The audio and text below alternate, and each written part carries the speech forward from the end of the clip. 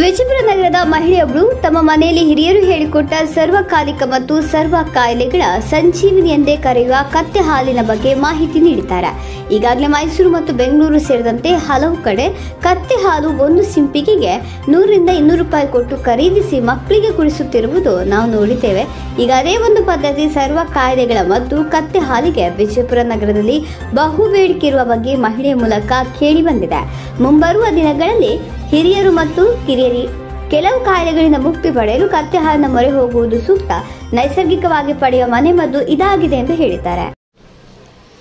ಕತ್ತೆ ಹಾಲು ಕುಡಿಸೋದ್ರಿಂದ ಮನೆಯೊಳಗಿನ ಸಣ್ಣ ಮಕ್ಕಳಿಗೆ ನೆಗಡಿ, ಕೆಮ್ಮು, ಜ್ವರ ಏನೇ ಇದ್ರೂ ಕಮ್ಮಿ ಆಗ್ತೈತ್ರಿ.